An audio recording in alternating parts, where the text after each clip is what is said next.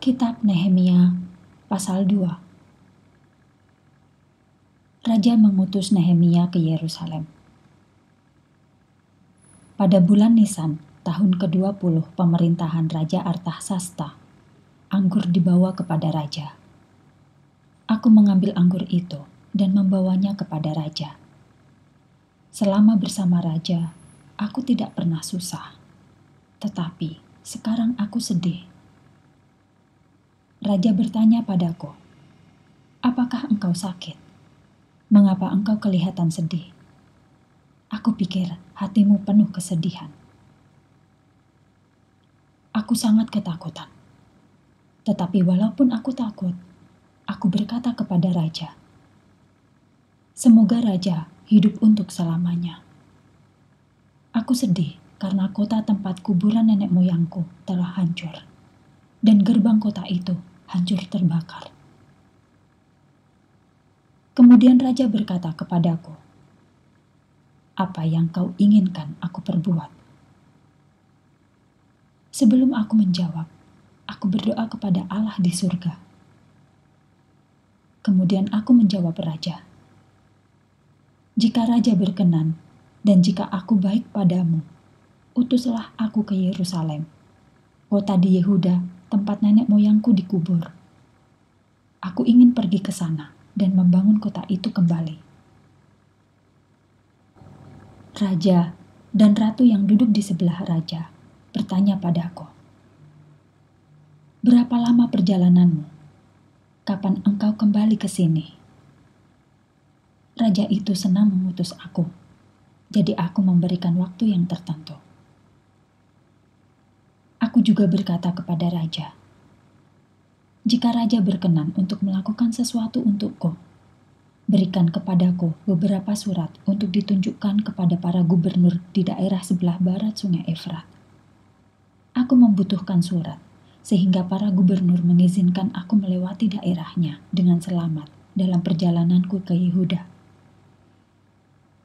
Aku juga membutuhkan balok-balok kayu yang berat untuk gerbang kompleks bait Tuhan tembok kota, dan tembok bait Tuhan. Jadi, aku membutuhkan suratmu untuk diberikan kepada Asaf. Asaf bertanggung jawab atas hutanmu. Raja memberikan surat dan semua yang kubutuhkan kepadaku. Raja melakukan itu karena Allah baik padaku.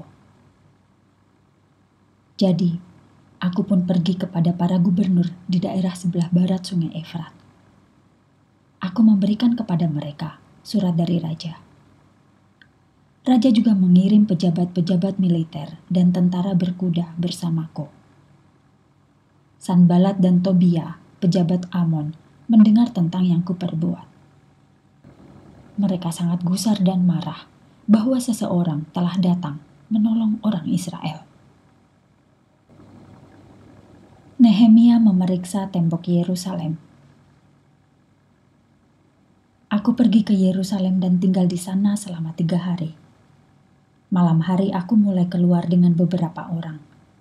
Aku tidak mengatakan apa-apa kepada siapa pun yang telah dikatakan Allah kepadaku untuk kulakukan bagi Yerusalem.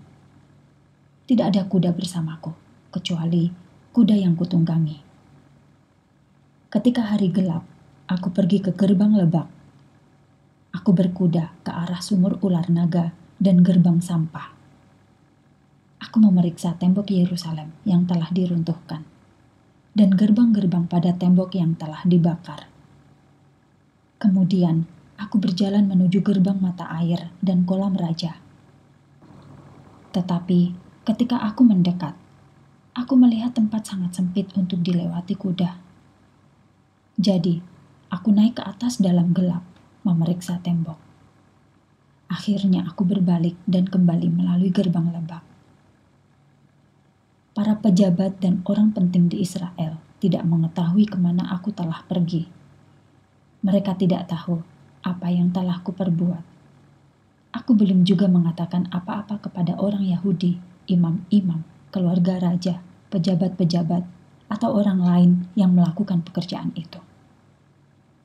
Kemudian aku berkata kepada mereka, "Kamu dapat melihat kesulitan yang ada di sini Yerusalem adalah tumpukan reruntuhan, dan gerbang-gerbangnya telah dibakar dengan api.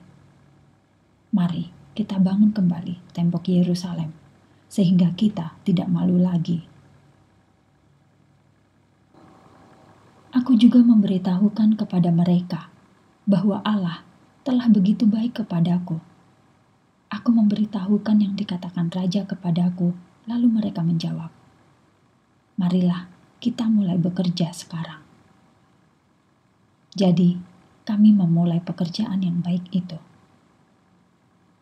Sanbalat dari Horon, Tobia, pejabat Amon, dan Geshen, orang Arab, mendengar bahwa kami membangun kembali.